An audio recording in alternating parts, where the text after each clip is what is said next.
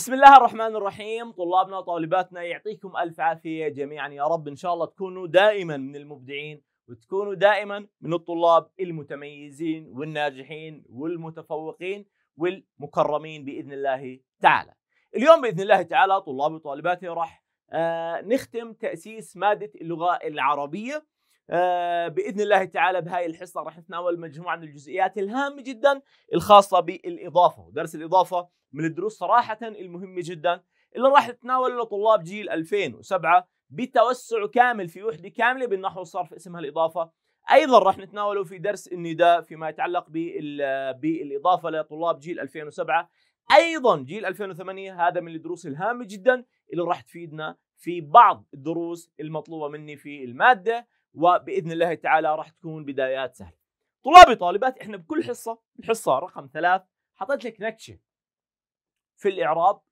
في بعض الطلاب انتبه لها وبعض الطلاب ما انتبه لها. حكيت عنها في بداية الحصة الرابعة. في الحصة الرابعة أيضا حطيت لك خطأ مقصود. بدي أشوفك هل أنت مصحصح ولا مش مصحصح ولا بتكتب وراي؟ فبكل حصة في حصص بحط فيها وحصص ما بحط فيها.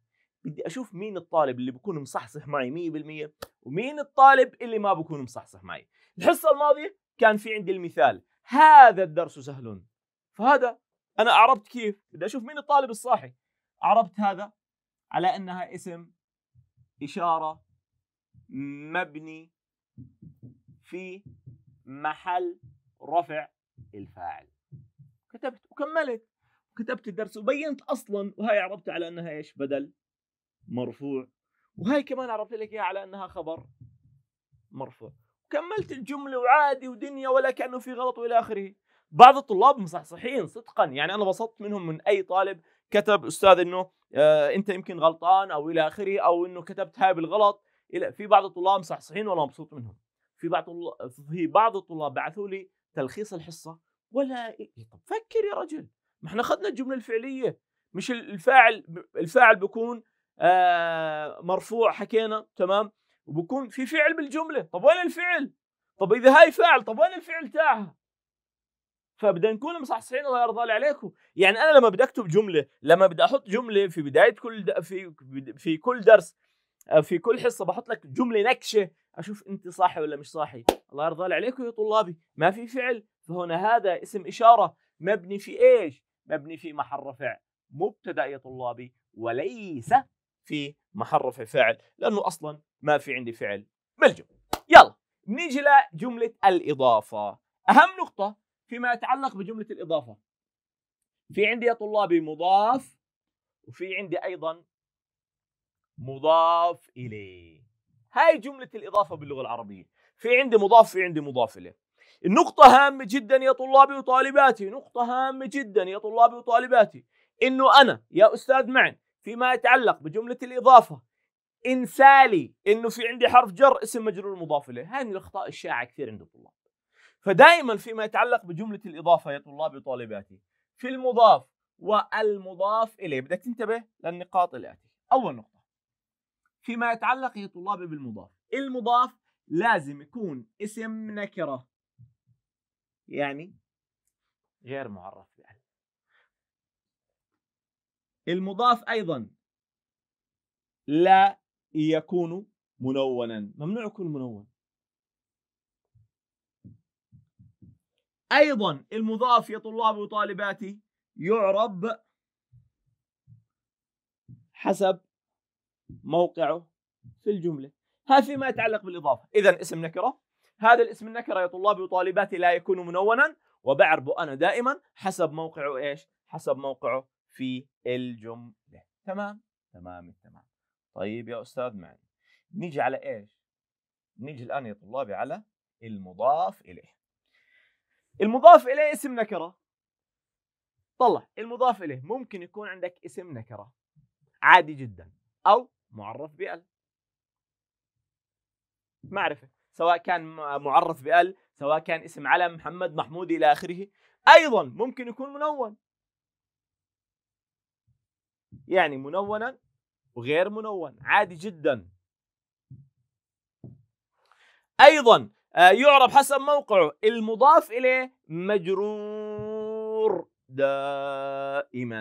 المضاف إليه مجرور إيش؟ مجرور دائما. ويكون أحيانا ضمير. بيجي ضمير متصل.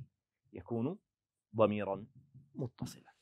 هاي الأمور كبس إنه بشكل سريع إنه أنا يا طالبي طالبتي أقدر أميز ما بين المضاف وما بين المضاف إليه. هاي النقاط الأساسية.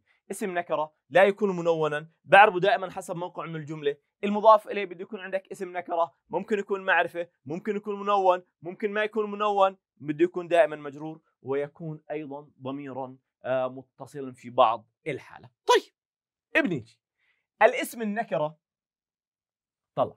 بقول لك المضاف والمضاف إليه. في عندي اسم نكرة اجى وراه اسم معرفة. الاسم النكرة اللي هو المضاف يعرب حسب موقعه في الجملة والاسم المعرف أو المعرفي يعرب على أنه مضاف إليه مجرور. نأخذ المثال نعرب الجملة كاملة كونه إحنا أخذنا كل شيء فيها. قرأت كتاب النحوي بطلع الجملة.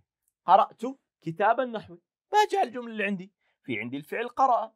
هذا الفعل يا طلاب وطالباتي هو فعل ماض.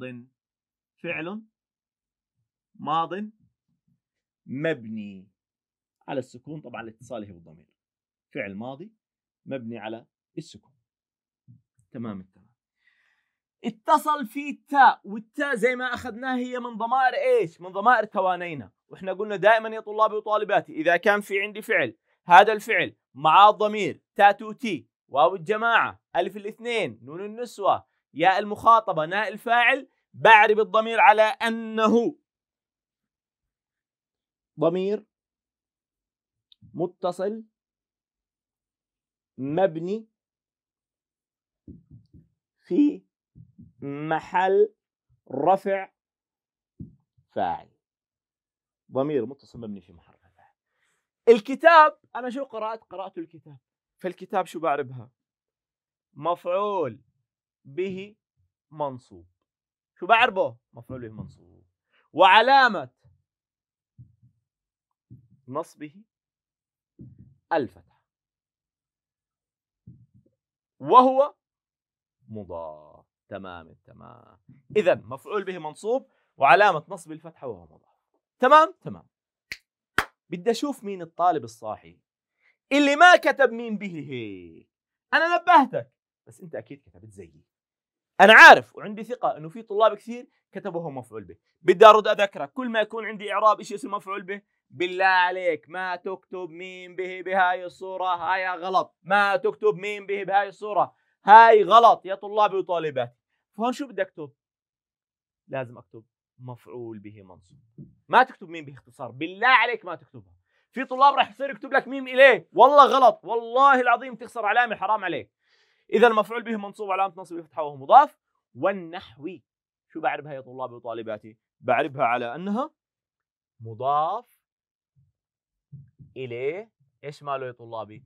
مضاف إليه مجرور وعلامة جره الكسرة. إذا مضاف إليه مجرور وعلامة جره الكسرة. كان في عندي اسم نكرة اجى بعديه اسم معرفة هذا الاسم المعرفي يا طلابي وطالباتي بدي أعرفه على أنه مضاف إليه مجرور. دائما أي اسم نكرة اجى بعديه اسم معرفة الاسم النكرة بعرفه حسب موقع من الجملة فاعل مفعول به مبتدأ إلى آخره والاسم المعرفة اللي بعديه يا طلابي وطالباتي بدي أعرفه على أنه مضاف إليه مجرور. طيب.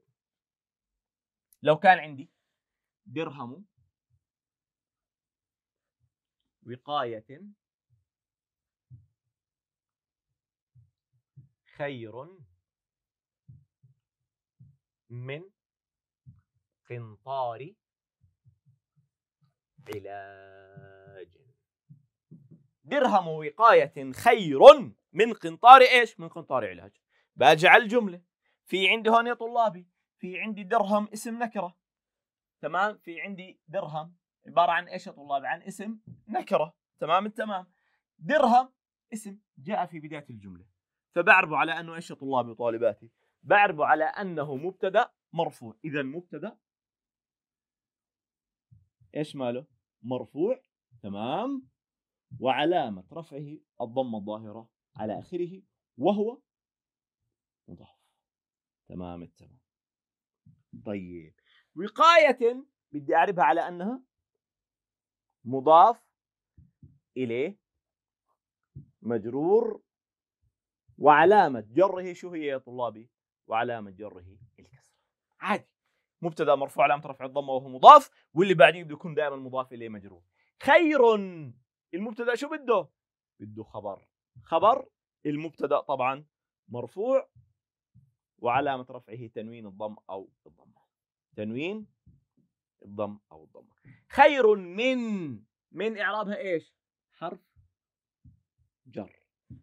قنطاري اسم مجرور وعلامة جره الكسرة. علاج مضاف إليه مجرور وعلامة جره تنوين الكسرة. طبعا اسم مجرور وعلامة جره الكسرة وهو مضاف. إذا بتلاحظ في عندي هنا اسم نكرة غير منون اجى بعد اسم نكرة منون تمام؟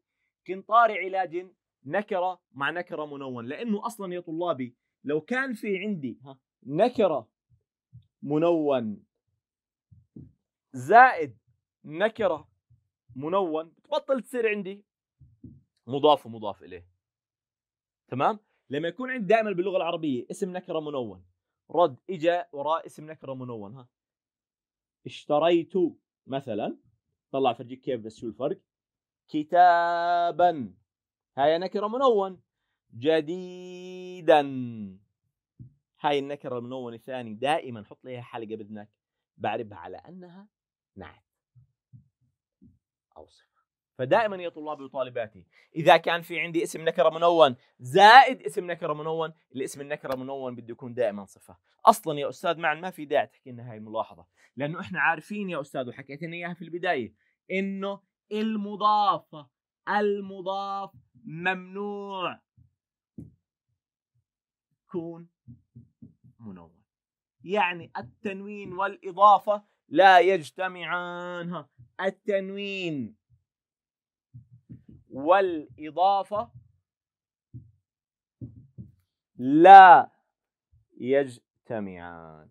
يعني مستحيل يا طلابي وطالباتي يكون في عندي مضاف منون. ولا بأي صورة من الصور. التنوين والإضافة لا يجتمعان مطلقا وأبدا يا طلابي وطالباتي. هاي النقطة بديش إنه أنساها. ممنوع المضاف يكون في ال التعريف. ممنوع المضاف يا طلابي وطالباتي يكون في عليه تنوين.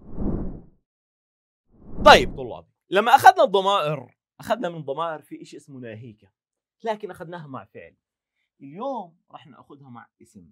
إذا كان في عندي اسم أي اسم باللغة العربية. اجى مع ضمير الناء أو الها أو الياء أو الكاف. يعني مجموعات بكلمة إيش يا طلابي؟ بكلمة ناهيك. أي اسم يا طلابي وطالباتي مع ضمير ناهيك مع ضمير ناهيك. الاسم بعرفه حسب موقعه من الجملة. والضمير ناهيك. إيش بعرفه بعرفه كالاتي على أنه ضمير متصل. مبني في محل جر مضاف إليه. إذا أي ضمير يتصل بالاسم بعرفه على أنه ضمير متصل مبني في محل جر مضاف إليه. أي ضمير يتصل بالاسم بعرفه على أنه ضمير متصل مبني في محل جر مضاف إليه. آه. كتابك مفيد. باجي على الجملة. باجي على كلمة إيش يا طلاب؟ كتاب. اسم. اجى بداية الجملة. فبعرف مبتدا مرفوع وعلامة رفعه الضمة. وهو مضاف. طيب. الاسم اللي هو كتاب اجى مع ضمير الكاف والكاف أنا شو بدي أعربها؟ بدي أعربها يا طلاب على أنها ضمير متصل مبني في محل جر مضاف إليه. اذا ضمير متصل مبني في محل جر إيش؟ في محل جر مضاف إليه. طب مفيد؟ بعرفها على أنها خبر مرفوع وعلامة رفعه هي طلاب وطالباتي تنوين إذا خبر مرفوع وعلامة رفعه هي طلاب وطالباتي تنوين إيش؟ تنوين تمام؟ تمام التمام يا أستاذي. إذا كتاب مبتدأ مرفوع علامة رفعه الضمة وهو مضاف والكاف ضمير متصل مبني في محل جر مضاف إليه. أي اسم أي اسم يا طلابي أي اسم. هاي مثلا كلمة آه كتاب. ناخذ كلمة كتاب. طلع لو كانت كتابنا كتابه كتابي كتابك كتابكم كتابهما دائما الضمير. أي اسم أي اسم. بيجي معه ضمير من هاي الضمائر واصلا ممنوع يجي مع الاسم غير هاي الضمائر. بدي اعرف هاي الضمائر على أنها ضمير متصل مبني في محل جر مضاف إليه. ضمير متصل مبني في محل جر بس بس يا طلابي. طيب. لو أخذنا مثال آه اللهم صل على سيدنا محمد. قلت لك حضر إلى الحفل مثلا الناجحون أو الناجح. تمام؟ قلت لك اعرب لي الجملة. راح تعرب لي إياها زي صف أول. كيف بيعربوا صف أول؟ لأنه معطيتهم مسين أو الأستاذ الفلاني إنه قاعدة كالاتي عندك حضر حضر فعل. وهذا الفعل يا طلابي فعل ماض. والفعل الماضي زي ما بنعرف دائما فعل ماضي إيش بده يكون؟ فعل ماضي مبني. هون جاء مبني على شو؟ على الفتح. إلى حرف جر. تمام التمام. الحفلي بينه بعد حرف الجر شو بده يجي باللغة العربية؟ أكيد راح يجي عندي اسم مجرور وعلامة جره هي طلاب وطالباتي الكسرة. هلا الطلاب متعودين دائما إنه حرف جر ورا حرف الجر يجي اسم مجرور ورا الاسم المجرور بيجي مضاف إليه. هذا غلط. مش صح يا طلابي. أصلا ما أنا حكيت لك. في عندي قاعدة شو بتحكي لك؟ بتقول لك هسه بنرجع لها. ال التعريف والإضافة. إيش مالهم؟ لا يجتمعان. قال التعريف مستحيل المضاف مش المضاف اليه ركز. مستحيل. المضاف يكون معرف بال. نو no واي ابدا. مستحيل يا طلابي وطالباتي إنه يكون مضاف معرف بال التعريف فهاي النقطة بدي أنتبه لها. نرجع لمثالنا. إذا حضر إلى الحفل اسم مجرور علامه جر الكسرة. ما بقول وهو مضاف لأنه هاي معرفة. طيب حضر إلى الحفل الناجح. مين اللي حضر؟ الناجح. عادي فالناجح شو بعرفها؟ فاعل مرفوع وعلامة رفعه طلاب وطالباتي الضمة الظاهرة على آخره. اللي بوصل لك إياه فكرة إنه عادي يا طلابي ممكن يجي فعل بعديه حرف جر بعديه اسم مجرور. بعد الاسم المجرور يجي فاعل يجي مفعول به يجي ظرف زمان يجي ظرف مكان ما في عندي أي مشكلة. لكن بدي أنتبه لنقطة مهمة جدا يا طلابي وطالباتي إنه ما بدي أخذ قاعدة حرف جر اسم مجرور وراء مضاف إليه. ممكن يجي عندي حرف جر وراء اسم مجرور وبعدين مضاف إليه بس مش شرط أساسي باللغة العربية إنه دائما بعد الاسم المجرور بده يكون عندي مضاف إليه. هلأ في كلمات مثلا زي كلمة غير زي كلمة آه سوى زي كلمة قبل زي كلمة بعد مثلا زي كلمة أمام خلف إلى آخره هاي الظروف. دائما في اللغة العربية زي كلمة أيضا كل وزي كلمة كلا وكلتا إلى آخره. هاي الكلمات إذا إجا بعدها اسم أو إجا بعدها يا طلابي ما ينوب مناب الاسم اللي هو الضمير. تمام؟ هذا الاسم أو الضمير هذول بسموهم باللغة العربية هاي اللي على الجهة على اليمين هاي بسموها أسماء ملازمة للإضافة. الاسم اللي بعديهم دائما بعربوا على أنه مضاف إليه. شو ماله يا طلابي مضاف إليه مجرور. فبدي أنتبه للنقطة هاي وللجزئية هاي يا طلابي وطالباتي. أيضا زي ما حكينا هون ونبهنا عليها وأكدنا عليها اللي هو عندي يا طلابي وطالباتي المضاف لا يكون منونا ولا معرفا بأل التعريف. طيب لو قلت لك وصل معلمون المدرسة. أو حضر. لاعبان الفريق بطلع على الجملة اللي عندي. قال لك بدي المضاف والمضاف إليه. راح تقول لي كالآتي يا أستاذ معن. في عندي اسم نكرة معلمون. هذا بده يكون عندي هو المضاف. طبعا إعرابها فاعل مرفوع وعلامة رفعه الواو لأنه جمع مذكر سالم. فاعل مرفوع وعلامة رفعه الواو لأنه جمع مذكر سالم وهو مضاف. المدرسة بدي أعربها على أنها مضاف إليه مجرور. طيب لو قلت لك حضر لاعبان الفريق نفس الشيء لاعبان بعربها على أنها فاعل مرفوع وعلامة رفعه الألف لأنه مثنى وهو مضاف وهو مضاف والفريق بدي أعربها على أنها مضاف اليه مجرور وعلامة جره الكسرة. لكن بدي أحكي لك نقطة النقطة هاي كثير هامة إنه هاي لازم تنحذف وهاي لازم تنحذف. ليش يا أستاذ معن؟ في قاعدة شو بتحكي لك؟ تحذف. تحذف. نون. مين يا أستاذ؟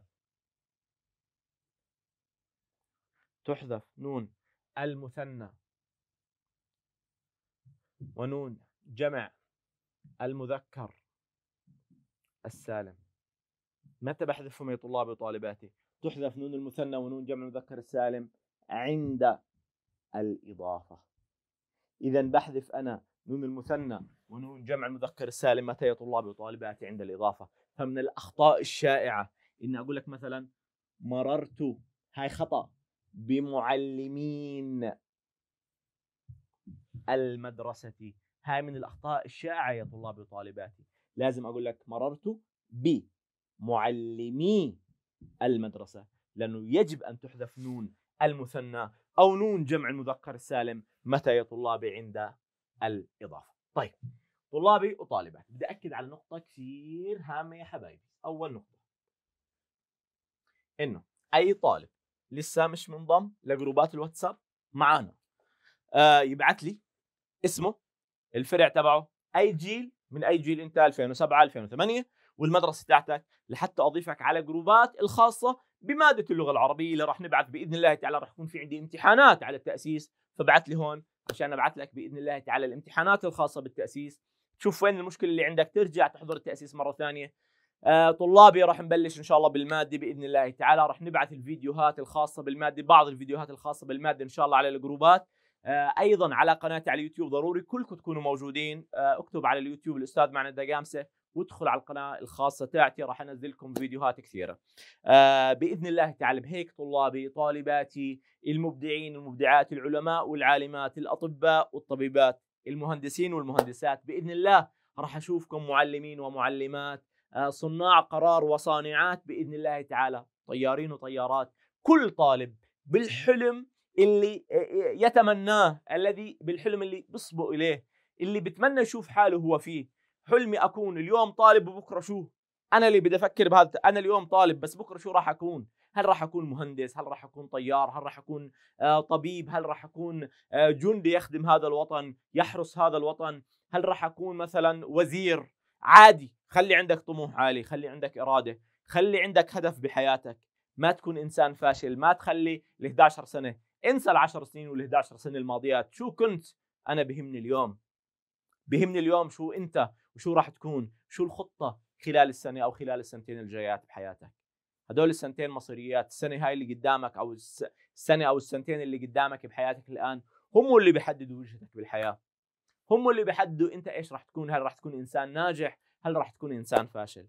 وأنا بإذن الله متفائل فيكم جميعا طلابي وطالباتي إنه كلكم راح تكونوا من الناجحين. كلكم راح تكونوا من المبدعين والمتميزين. فبإذن الله تعالى طلابي طالباتي طالما أنتم معي راح تكونوا بإذن الله بعد توفيق الله سبحانه وتعالى طبعا وبعد إرادتكم وبعد تصميمكم وبعد عزيمكم وبعد تعبكم وجهدكم غير المتفاني. بإذن الله واثق وراح تكونوا من المتميزين وراح تكونوا من المكرمين. خليكم معنا طلابي وما تنسى تبعت لي على رقم الواتساب. ربي يوفقكم إن شاء الله وإلى لقاء قريب.